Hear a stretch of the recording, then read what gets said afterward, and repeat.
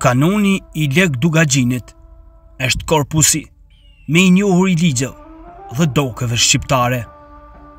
Ndonëse rrënjët i ka më të vjetra, ky kanun merr emrin e Lekë Dukagjinit në tokat e të cilit edhe u zbatua.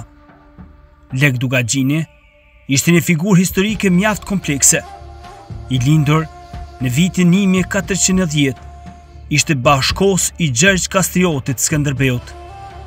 Historia e njeh si princin trashëgimtar, që u lartësua kur mori në sundim principatën, që mban mbiemrin e tij, Dukagjinin.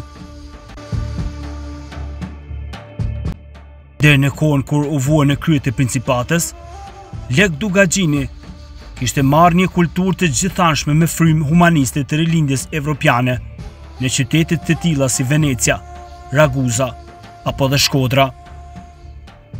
Sot e kësaj dite, ndonëse mbi 500 vite na ndajnë në mes, emri i Lekë Dukagjinit, vazhdon dhe përmendet, Përmendja e emrit ka të bëjë pikërisht me kanunin, që u la trashëgim Lekë Dukagjini shtetasve shqiptarë. Ky fenomen homerik e ka legjendarizuar emrin e Lekë Dukagjinit, duke e kthyer atë në një mit të vërtetë. Ligjet e përpunuara prej tij u quajtën kanun, Një fjalë që turqit e kishin huazuar prej arabishtes, e që në fakt, rrjedh nga greqishtja e lashtë që do të thotë kanon, domethënë, matje.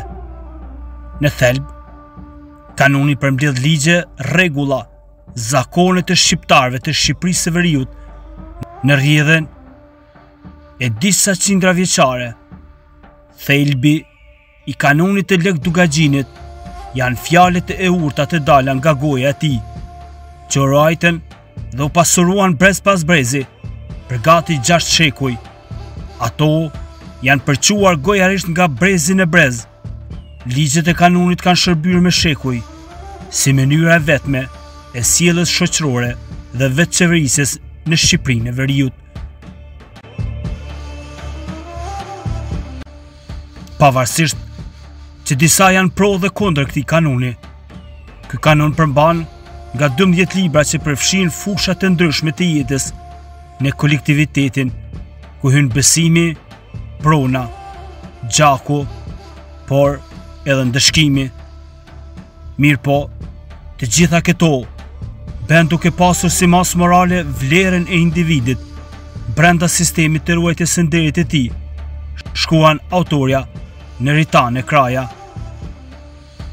Kanuni ngre shkallaren morale ku në kulm qëndrojnë vlerat tradicionale si burrnia dhe nderi. Miku, respekti, nderi shoqëror dhe nderi vetjak. Me ligjet e tij të pashkruara, kanuni arriti të mbijetonte jo vetëm në shekujt e pushtimit turk, por ai ushtrohej si e drejtë paralele me ligjet e perandorisë turke.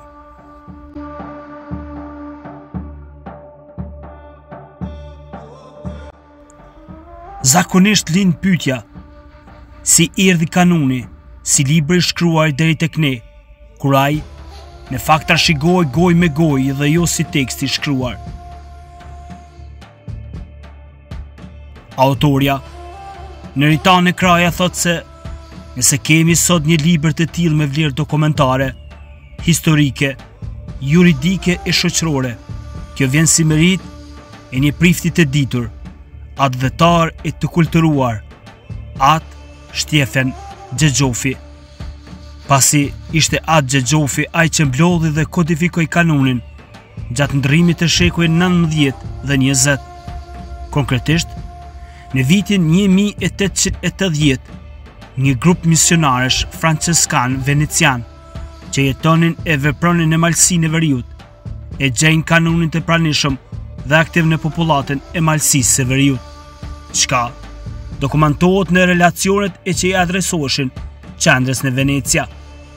Pjesë të kanunit u botuan fillimisht në revista të përkohshme, qysh prej viteve 1890, Kurse libri i veçantë doli në vitin 1933 në Shkodër, disa vjet pas vdekjes së Atë Shtjefën Gjeçovit.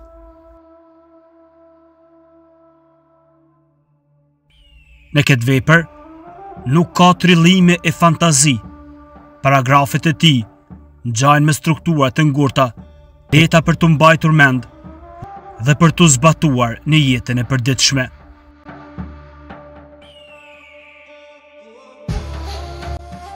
Shumë formulime të këtyre neneve kanë vlerën e fjalëve të urta popullore të cilat përbëjnë dhe esencën e kanunit. Nga ana tjetër, puna e Gjeçovit Ka një rëndësi të madhe pasi ai bëri një punë të kualifikuar shkencore. Kjo vihet re nga shënimet krahasuese që ua ka bërë neneve të veçanta me doktrinat juridike që ishin bazë e qytetrimit evropian. Kanuni është botuar jo vetëm në gjuhën shqipe, por edhe në disa gjuhë kryesore të botës. Megjithatë, studiusit e së drejtës kanë bërë shumë analiza për tekstin fragmentar dhe jo të plotë të kanunit. I mbledhur vonë dhe i kompozuar në mënyrë subjektive sipas mbledhësve, kanuni nuk paraqet plotësisht dhe në mënyrë të pacenuar siç ka qenë para shumë shekujve.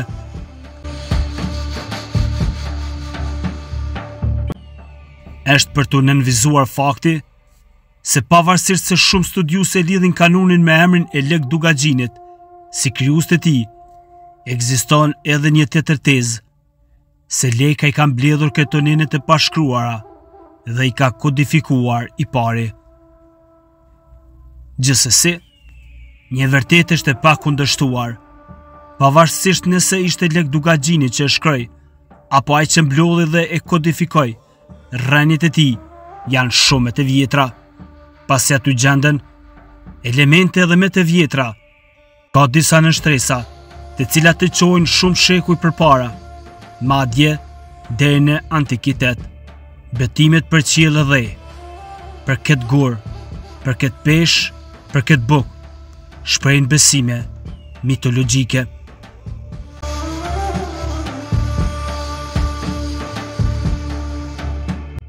Vetëm një gjë, me të vërtetë shumë e vyrë mund të kapërcente shekuj të tërë për të ardhur gjer në ditët e sotme. Kështu, fare në fund, mund të vijmë në konkludim sipas autores Neritana Kraja ku thotë se kanuni i Lekë Dukagjinit është monumenti më i rëndësishëm i kulturës shqiptare, që mund të ketë lindur në lashtësi dhe krijoi degët gjatë mesjetës, duke luajtur një rol me rëndësi historike në jetën dhe gjuhën e popullit shqiptar.